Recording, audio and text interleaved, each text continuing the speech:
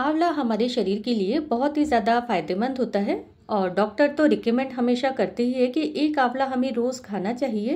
तो आज मैं आपके लिए लेकर आई हूँ बहुत ही ज़्यादा टेस्टी आंवला अचार की रेसिपी ये अचार बनाना बहुत ही आसान है और बहुत ही जल्दी बन तैयार हो जाता है। तो चलिए हम बनाना शुरू करते हैं।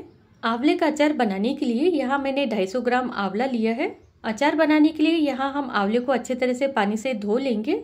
सबसे पहले हम एक बर्तन में पानी गर्म करेंगे और उसके ऊपर हम छन्नी रख देंगे और छन्नी के अंदर हम आंवले को इस तरह से रख देंगे और ढककर 10 से 15 मिनट के लिए हम स्टीम करेंगे। पाँच से सात मिनट हो चुके हैं तो हम क्या करेंगे?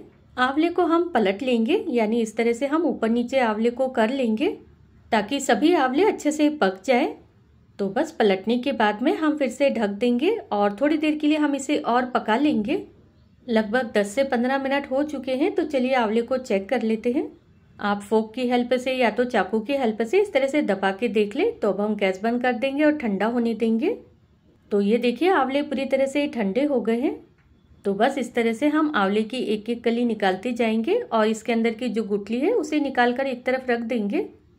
कई लोग आंवले का अचार बनाते हैं ना तो स्टीम करने के बजाय पानी में डालकर उबाल लेते हैं आंवले को। पानी में डालकर आंवला उबालने से क्या होता है ना, आंवला जल्दी खराब हो जाता है। तो जब भी आप आंवले का अचार बनाए ना तो पानी के अंदर बॉईल बिल्कुल भी नहीं करें। इस आंवले को थोड़ी देर के लिए हम धूप में रख देंगे। आंवले के अचार को और भी ज़्यादा टेस्टी बनाने के लिए इसमें हम डालेंगे हरी मिर्च। यहाँ पर मैंने हरी मिर्च को अच्छे से धो लिया है और साफ़ कपड़े से पोछ लिया है। तो चलिए हम हरी मिर्च को काट लेते हैं। तो ये देखिए, इस तरह से हम दो पार्ट में डिवाइड कर देंगे। और इस तरह से छोटे छोटे पीस में हम मिर्च को काट लेंगे। मैंने यहाँ पर ज़्यादा मिर्च का यूज़ नहीं किया है। अगर आपको मिर्च ज़्यादा डालनी है तो आप इसकी क्वांटिटी बढ़ा भी सकते हैं।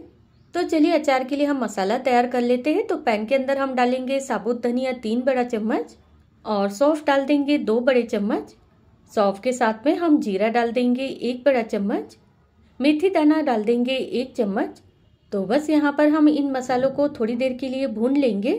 जब तक मसाले में से खुशबू आने नहीं लग जाती है ना, तब तक हमें इसे भून लेना है। तो ये देखिए, मसालों में से खुशबू आने लगी है और चटकने भी लगे हैं। तो इसी स्टेज पर हम क्या करेंगे? गैस बंद कर देंगे और इन मसालों को हम निकाल लेंगे एक बड़ी सी प्लेट में और ठंडा होने देंगे। इन सूखे मसालों को हम पूरी तरह से ठंडा होने के बाद में ही पीसेंगे। मैंने यहाँ पर मसालों को फ़ैन के नीचे ठंडा होने रख दिया था तो मसालों को अब हम डाल देंगे जार के अंदर। तो बस चलिए हम इसे मिक्सर में पीस लेते हैं। तो यहाँ पर हमें मसालों को दरदरा पीसना है। मैंने यहाँ पर मसाले को कोर्स में चलाते हुए इस तरह से दरदरा पीस लिया है। तो यहाँ पर मसाले का फाइन पाउडर बिल्कुल भी नहीं बनाना है। तो चलिए इसे हम एक तरफ़ रख देते हैं। यहाँ पर मैंने एक बाउल लिया है और बाउल के अंदर हम डालेंगे पीली सरसों वन फोर्थ कप। और अगर आप अचार में मसाला ज़्यादा पसंद करते हैं तो पीली सरसों की क्वांटिटी आप बढ़ा सकते हैं। थोड़ी सी हींग डाल देंगे और एक चम्मच कलौंजी डाल देंगे और हल्दी पाउडर डाल देंगे आधा चम्मच। हल्दी पाउडर डालने से अचार की लाइफ बढ़ जाती है। लाल मिर्च पाउडर डाल देंगे आधा चम्मच।